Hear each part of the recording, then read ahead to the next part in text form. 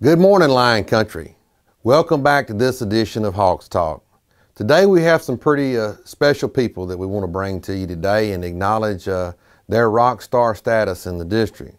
But before I do, let me hit on a few points uh, that might be germane to all of you. Uh, first of all, Monday started our first round of phase two, which that's our instructional supports. Um, those supports have went out and I, and I continue to say that we're so blessed in this district to not just be sending worksheets out to our students. Uh, there's actual instruction happening in our district and we're very blessed because of that. And students, once again, uh, superintendent of the district, I call on you. I've had the, the question sent to me that, uh, am I going to have to repeat the same grade? Well, that's for you to decide. Um, as we move through phase two, uh, teachers are taking grades, and so it's important, uh, as the Commissioner of Education said, when times get tough, Texans rise to the occasion. Well, when times get tough in Lion Country, our students will step up and rise to the occasion, and that's what that's what I'm calling on you today to do. Uh, you have the whole backing of Livingston ISD behind you. We are doing everything that we can to uh, ensure that you have the supports necessary to be successful. Uh, if you have questions, please reach out to your teacher. Feel free to email your teacher. Please feel free to email your principal to get the questions that you need and the supports you need so that you can be successful. Aside from that, folks, I, have said it before and I'll say it again. Uh, we are not homeschooling and we're not online learning. Uh, we're taking what we have and making the best out of this situation. Uh, when, when it comes to instructional supports, and what we're doing now in phase two, quite frankly, we're remote learning. And we're doing it because we have an emergency and a disaster uh, declared, and we want to keep everyone safe as possible. As far as our remote learning goes, there, there is no substitution for our students. The power of public education is that all of us together are better than all of us apart. And when we come together in Lion Country, that special knit of a family is what supercharges uh, our learning. And so uh, obviously we want you back in the buildings. Our, our, our, staff misses you. I miss walking through the halls and, and seeing you and the, and the great things that's happening in our school buildings. But in order to keep everyone safe, uh, the best path forward is this remote learning.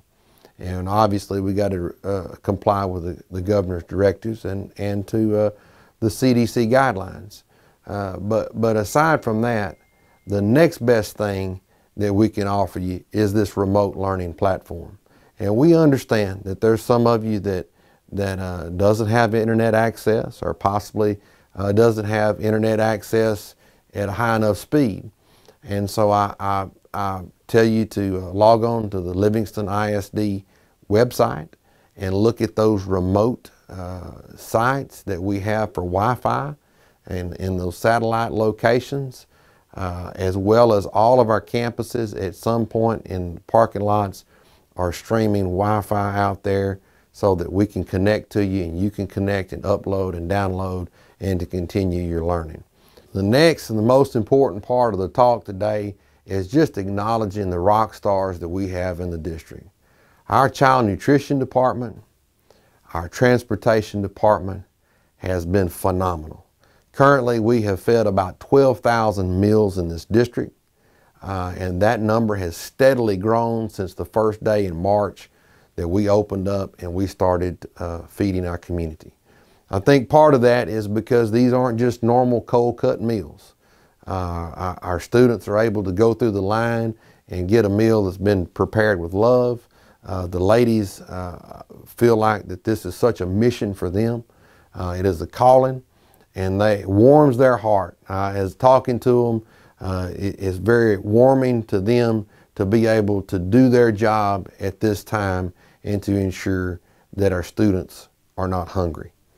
This week we're on track to feed uh, approximately 10,000 meals this week alone. And we're very proud of the growth of that. Last point that I would uh, make to you is, is that our district is 78% socioeconomically disadvantaged. But the meals that these ladies are providing are truly for our community.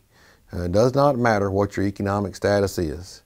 Uh, every day they go in, they roll up their sleeves, and they do the best job that they can to give you a piece of their uh, work, their effort, and uh, they'd very much like for you to come through and try the meals that they've prepared. With that said, I couldn't be more proud of this department. You know, in this time that we live in, it's real easy to be critical. Seems like on every social media platform, there's an abundance of critics. And in tough times, you find out what kind of team you have. And the kind of team that we have in Lion Country has been phenomenal. When we've pivoted and we, we've pivoted for the safety of our community and the safety of our students, we've pivoted and instead of complaining and griping, these ladies have rose to the occasion. So with that said, they're the true spirit of Apple Corps.